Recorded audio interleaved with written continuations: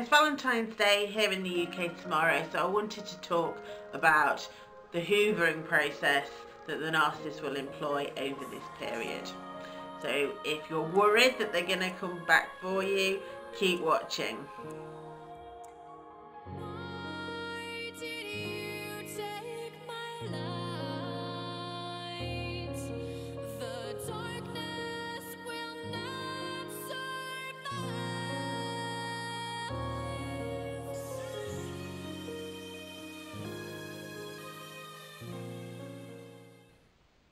Hey everyone, welcome back to the Nurturing Coach channel. For those of you who are new, welcome and thank you for being here. If you haven't yet had a chance to subscribe, please do so. It does help us to reach more people.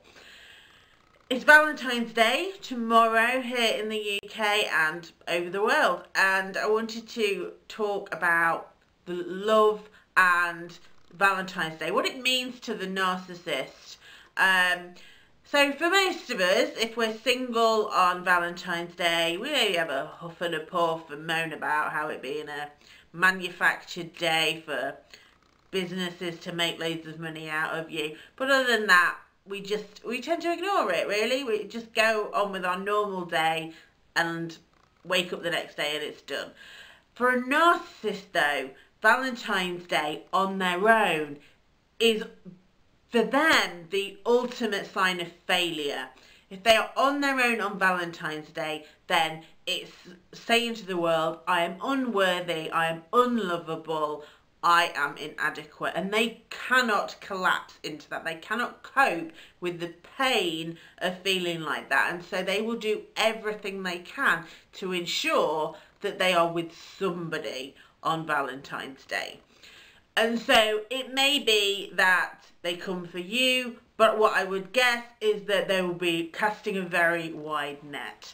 So they're probably scouring through um, dating sites, trying to hook up at the last minute with someone, and contacting all of their exes, trying to find someone, anyone that will be with them on Valentine's Day so they can say to the world, see, I am loved, and basically to stop them from feeling that that un, that um, self inadequacy and that lack of love.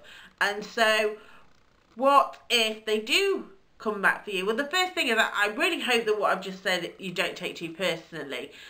It isn't about you. You you know that a relationship with a narcissist it's about them and meeting their needs. And so when I say that they are casting a wide net, that's just, that's no representation of you.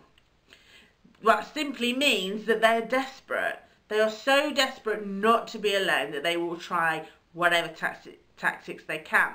So they will, like I say, be on those dating sites.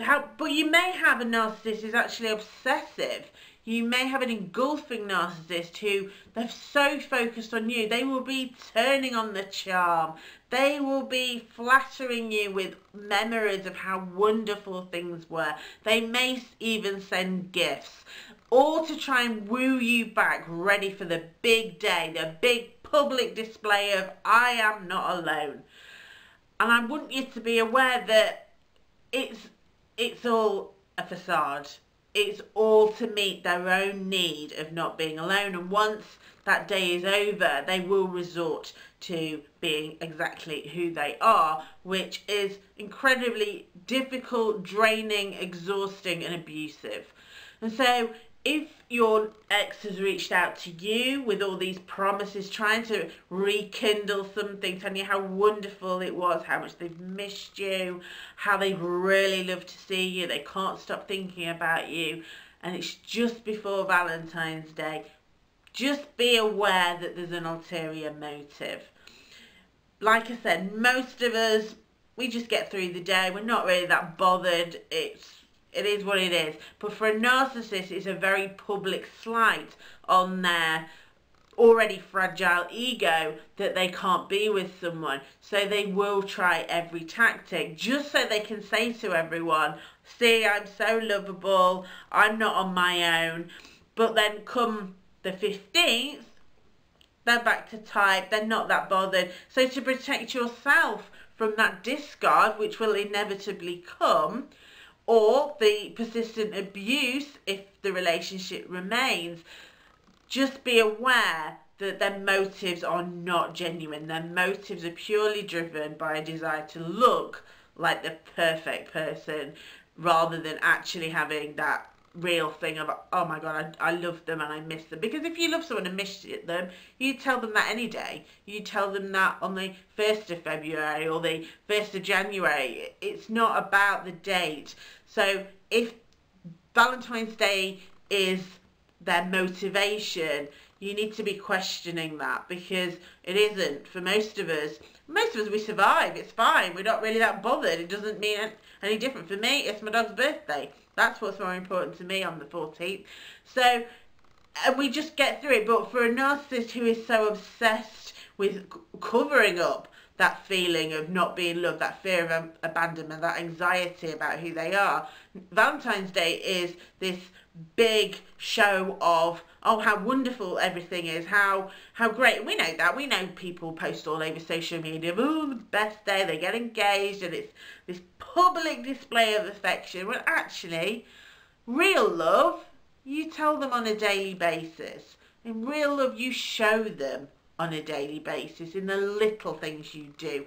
Not the big grand gestures, but in those little actions.